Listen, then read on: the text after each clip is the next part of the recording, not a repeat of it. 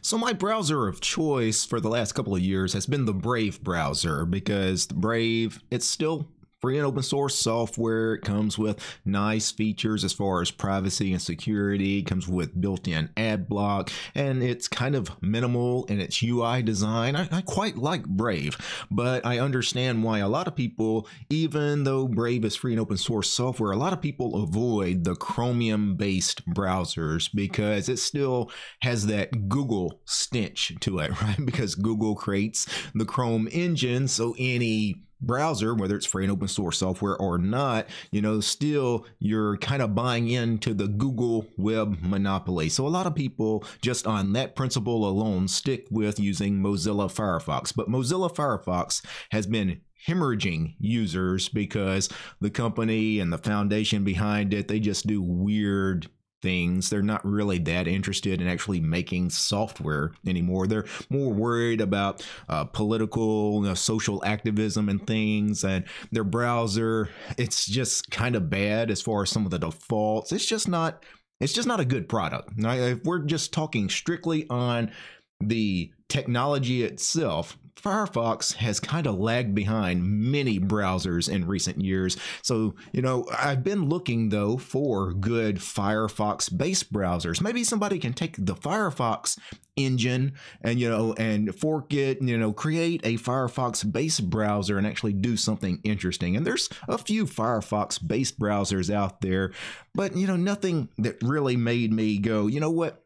This is my browser. I'm going to switch to it. Until the last couple of days, I came across this browser. It's rather new, it's in beta. This is the Zen browser. And I've got to say, I have been extremely impressed with this browser. So first of all, the Zen browser, as I mentioned, is based on Firefox. It is cross-platform. If you click on the download button here on their homepage, you can see it is available for Windows, Linux, Mac OS. Now, of course, I'm on Linux. Most of you guys watching my content are probably running Linux. You can choose the Zen browser for x86-64 architecture, and you have a variety of ways to grab this. You can download the tarball, you can download a an official app image. You can download an official Flatpak. Uh, you can also, if you're on an Arch Linux based distribution like I am, it is available in the AUR. There is a binary build, and the chaotic AUR also contains a binary build of the Zen browser. That's actually how I installed it. I installed it using the chaotic AUR. And when you launch the Zen browser for the very first time, uh, you're going to be welcomed with a welcome screen, kind of similar theme to how their website here is you'll get a little welcome message and it'll ask you a couple of questions. First, they'll want to know uh, what kind of layout do you want the browser. I chose this layout where I have the sidebar here with my tabs and the URL bar here at the top, but they have a different layout where you would have the tab bar here on the side and the URL bar also on the side. So it's a single sidebar and it would look uh, something like this. It would be expanded out with the tabs and instead of having the URL bar here, you'd have a small little URL bar bar here. I'll actually show you that later. It'll also ask you about an accent color for the browser, and then it'll finally ask you, hey, do you want to import bookmarks from one of your existing browsers? So it detected that I was using the Brave browser, and it wanted to know do I want to import all of my Brave bookmarks into Zen? And I chose yes, and it did that import beautifully. You know, it imported all of my bookmarks. Now, one of the things I immediately liked when I started using the Zen browser was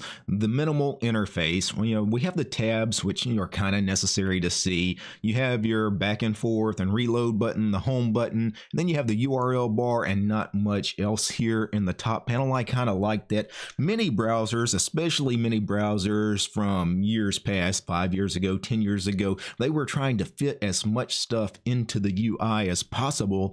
And I just thought it was cluttered and it was filled with a lot of things I would never use. I just need the URL bar. That's essentially what I need in the browser. And I don't necessarily have to see the URL bar all the time. I wouldn't mind that thing just being hidden and, and only coming out when I type. And the Zen browser does allow you to do that. They have what is known as a compact mode. If I right click inside the tab bar here and I go to compact mode and enable compact mode is turned off, but if I enable it, I can choose to hide the sidebar, hide the toolbar, or hide both. I'm going to have hide both ticked on and enable compact mode, and boom, everything goes away. It is just a frame with the web page. Now the URL bar is there. If I mouse up to the top of the screen, it pops out and if I move my mouse back down, it goes away. If I do a control T, I can actually bring up the URL bar here and start typing something. You know, I can navigate to a URL or I can just escape out of that, move my mouse back away here. If I had multiple tabs open and I wanted to see the tab bar, all I need to do is move my mouse back over to this side of the screen.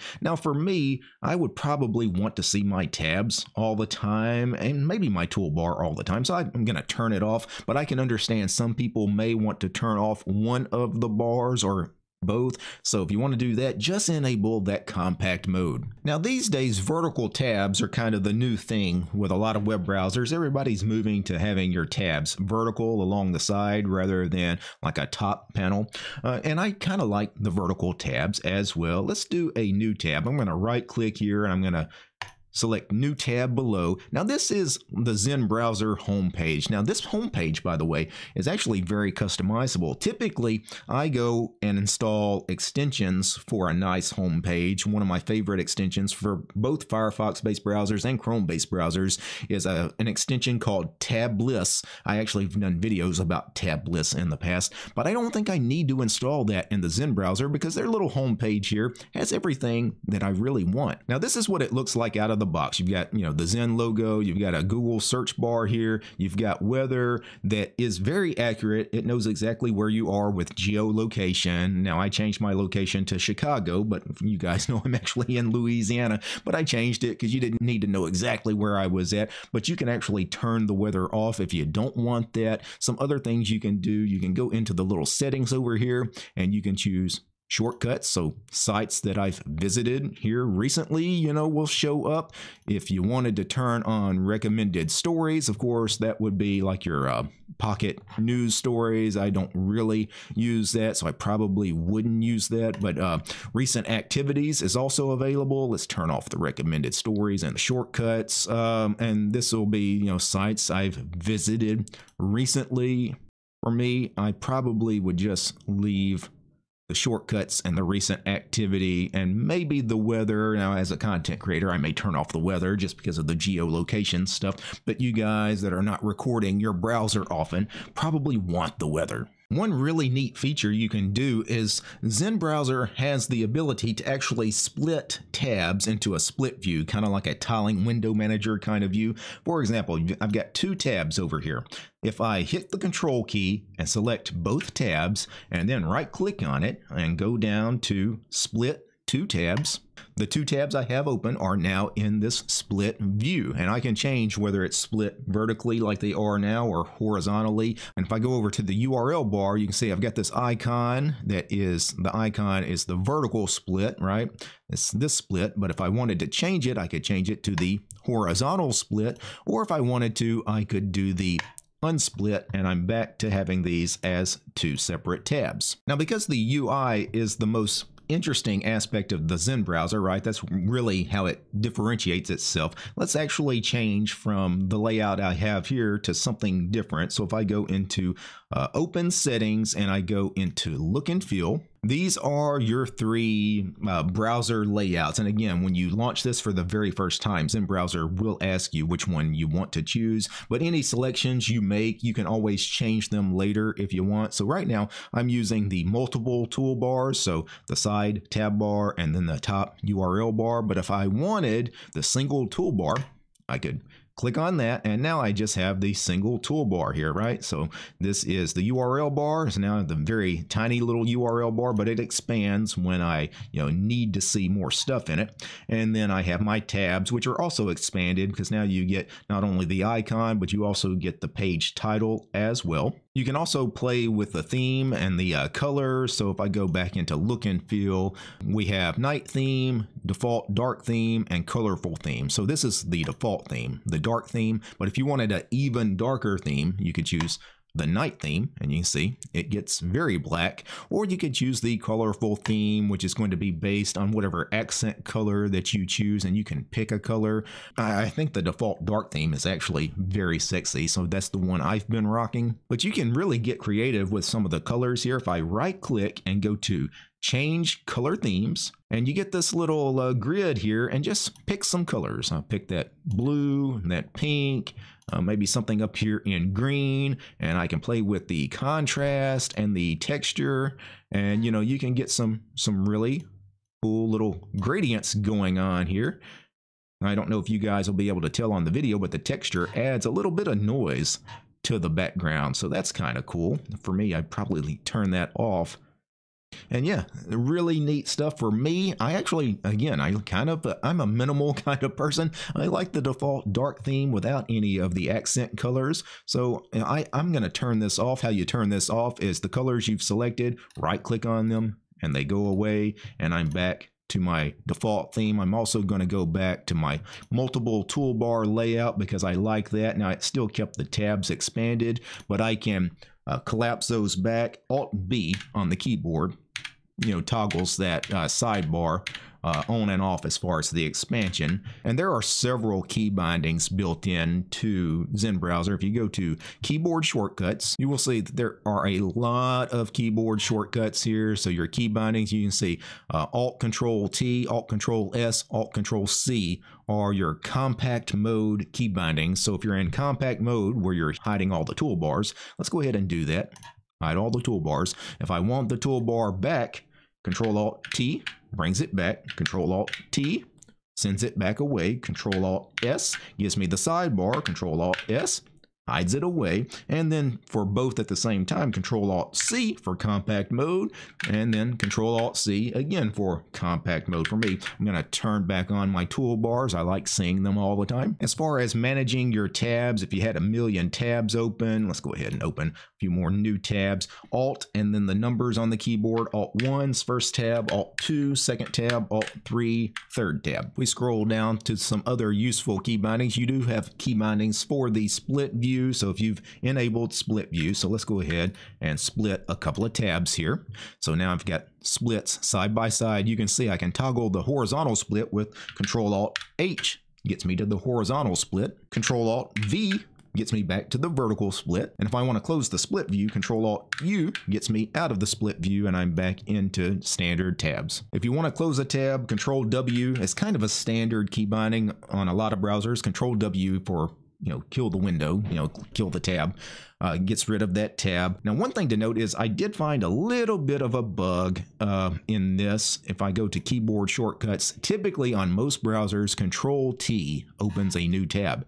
And that's what it says here in Zen Browser. Control T should open a new tab. But if I hit Control T, it actually gives me the URL bar and I can search for something, right? Which is not a bad key binding for that. But again, if you're used to Control T opening a new tab, that's going to conflict. So that URL bar, there's a, you know, a, a conflict with Control T. But I found that Control Shift T does in fact open a new tab. I just open a new tab on the same page I was on before. You can see, but I have two different tabs open now. Control W will kill that tab. One of the most useful and, and unique features of Zen Browser that I've found is it has this ability to kind of preview a web page before you actually go to it. So find a link on a page. For example, the download link here. I'm going to put my mouse over it. I'm going to hit Alt on the keyboard, hold the Alt key, and then click on the link and you get a little preview, you know, a little quick glance at the page here. And if this is the page I want to be on, I can hit the little expand button here, you know, the full screen button, and it actually does open that page properly in its own tab. Let me hit Control W to kill that page. I'm going to go back to the first tab here. Now, if this is a page that maybe I'm not sure if it's useful or not, again, I hover over, for example, release notes, hold the Alt key, click with the mouse, and say, hey, you know what? This page isn't the page I wanted. Well, the close button right here will close that preview and I'm back on the page I was on before. Now, because this is a Firefox based browser, you can use all of your Firefox extensions. And I know a lot of people will ask about syncing. So if you use multiple devices, especially um, home computer or a laptop. Also, you use mobile and you want to be able to sync your stuff between all of your devices. There is no mobile version of Zen browser, but if you use the mobile version of Firefox or any Firefox based browser, Zen browser can sync with Firefox and vice versa. Also, it's very customizable as far as the user interface. While I like the defaults, I think the defaults are perfect. You know, I wouldn't change them, but if you wanted to add more stuff, uh, to the bars or whatever. You could right click, you could customize toolbar, and it's just like doing this in Firefox. You just drag what you want to the toolbar, you know, the little widgets. For example, if I wanted a proper like search engine search bar, you know, I, maybe I want to put it here. Now I have my URL bar here and my search engine search bar here, if that's what I wanted to do. If I wanted, um, let's see if I can actually find something that would be useful. Well, here's one, the bookmarks menu. I could certainly use bookmarks, you know, on my toolbar. I could add that. Let me hit escape and now, yeah, now I have my bookmarks here.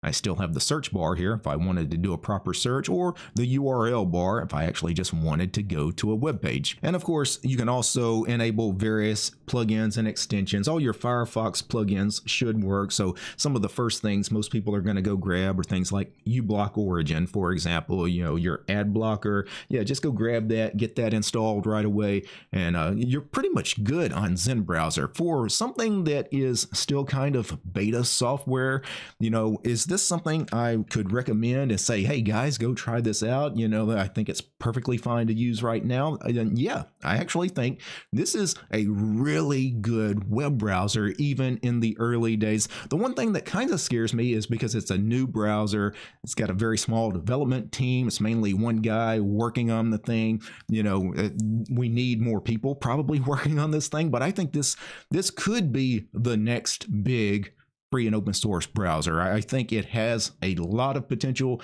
which is why I'm doing a video about it today. Now, if you want to check out Zen Browser, again, it's available as an app image, it's available as a Flatpak on Arch-based distributions. You'll find it in the AUR. Now, before I go, I need to thank a few special people. I need to thank the producers of this episode, Matt, Steve, Armor Dragon, Cap Caveman, Darloff, Daedalus, George, Lee, Methos, Urion, Paul, Peace Arch and Fedora, Realities for Less, Red Prophet, Roland, More Gentoo and Ubuntu, and Willie. These guys, they're my highest tiered patrons over on Patreon. Without these guys, this quick look at the Zen Browser would not have been possible. The show is also brought to you by each and every one of these fine ladies and gentlemen.